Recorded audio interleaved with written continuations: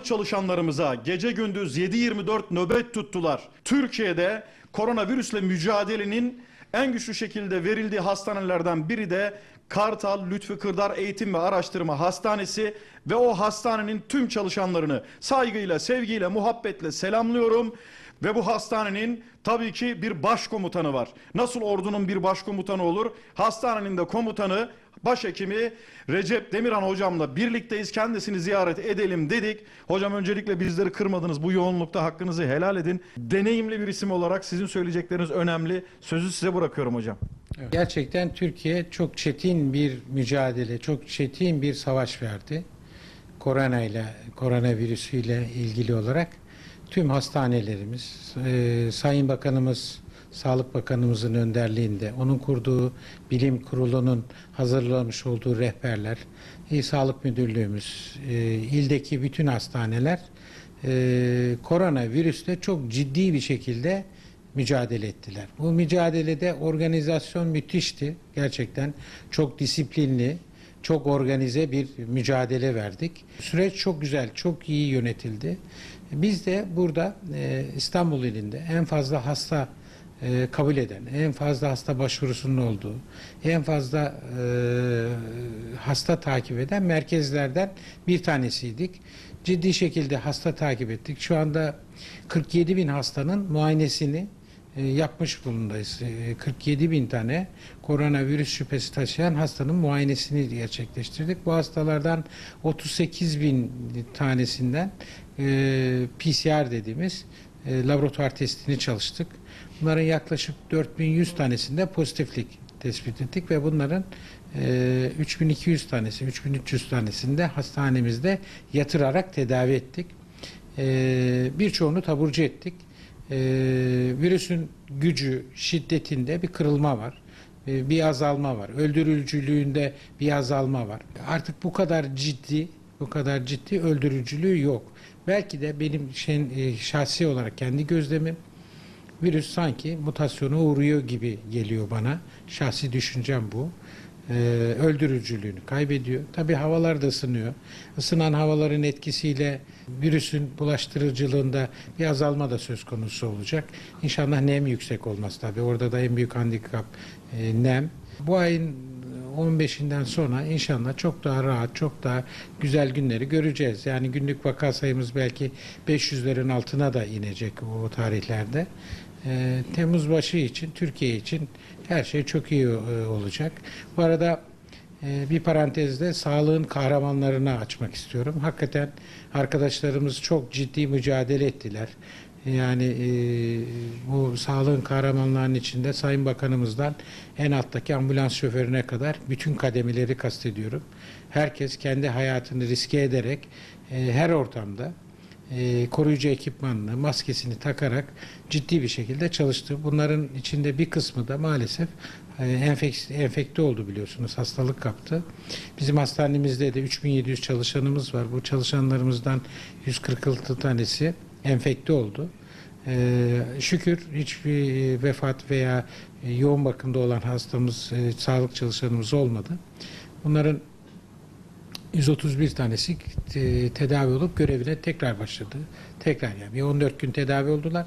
Tedavi karantina e, süresini bitiren tekrar görevine başladı. Ben onları da kutluyorum. Onlara çok teşekkür ediyorum. İyi ki varlar. Yani onlar olmasaydı biz bu e, kahramanlık hikayelerini, bu başarı hikayesini belki söyleyemeyecektik. Belki yapamayacaktık.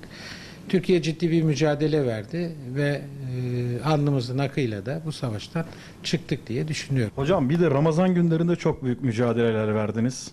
O nasıl bir duygu? Yani o maneviyatı da sizden dinleyelim yani. Allah onun size şeyini veriyor. E, mükafatını veriyor. Size yardım ediyor. Biz birçok arkadaşımız oruçluydu, niyetliydi. Hiçbir eksiklik görmeden de ama şuna dikkat ederekten dengeli, iyi beslenerekten, uykumuzu e, ciddi anlamda düzgün alaraktan hiçbir problem olmadan bu badireyi de atlattık. E, Tabi Ramazan olması da ayrı bir şey. E, ulviyeti olan bir duygu. Yani e, Ramazan nedeniyle e, ortalık daha sakin, daha hafif, insanlar daha tolerable'dı, daha toleranslıydı. Onun da avantajını kullandık. Rehavete kapılmayalım. Ama şunu da unutmayalım. Sosyal mesafemizi, maske kullanımını ve el hijyenini e, unutmayacağız. Bundan sonraki yaşamımız kontrollü yaşam. Yani kontrollü bir sosyal yaşama döneceğiz. Yani eskisi gibi herkesi öpmeyeceğiz. Herkesle çok yaklaşmayacağız. Herkesle el sıkışmayacağız. Ee, sürekli ellerimizi yıkayacağız. Sürekli deterjanla, sabunla, e, el dezenfektanlarıyla ellerimizi e, dezenfekte edeceğiz. Sinemada, otelde yan yana oturamayacağız. Aralıklı oturacağız. Belki istediğimiz yere istediğimiz anda tatile gidemeyeceğiz. Uçaklarda belki kısıtlamalar olacak. Yolculuklarda bunlara alışmamız lazım. Ta ki aşı bulunana kadar. Eğer aşıyı bulursak virüs de benim gözlemim gibi eğer cidden olumlu yönde, pozitif yönde mutasyona uğruyorsa inşallah bu hastalığın bu işin de üstesinden gelmiş olacağız.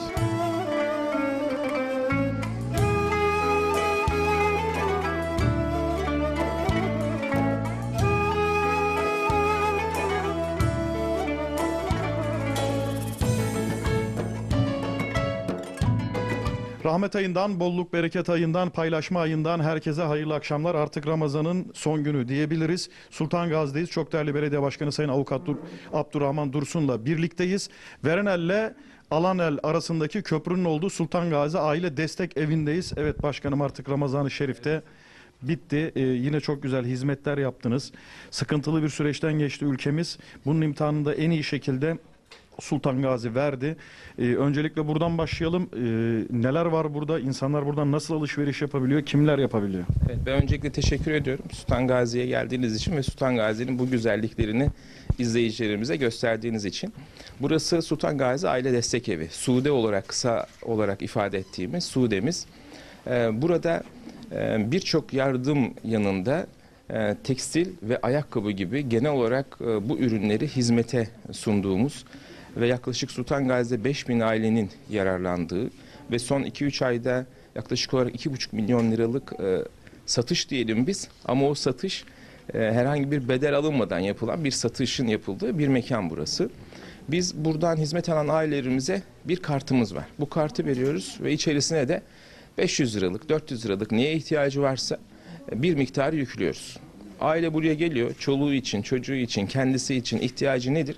Şöyle alıyor, bakıyor, üzerindeki barkodu okutuyor ve bir alışveriş merkezinden e, nasıl alışveriş yapıyorsa buradan da aynı şekilde alıyor. Herhangi bir şekilde bir yardım bile yaptığımızı hissettirmemek istiyoruz kendisine. Yani huzur içerisinde gelsin bir alışveriş merkezine girip de bir markalı yerden alışveriş yapar gibi e, buradan hizmeti alsın diye gayret ediyoruz. Elhamdülillah güzel gidiyor. E, burası çok yoğun e, olarak Sultan Gazilerin rağbet ettiği bir yer.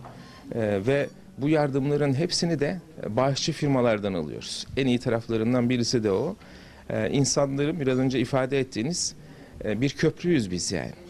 E, hizmet etmek isteyen, yardım etmek isteyenle yardıma ihtiyacı olan arasında bir köprüyüz biz.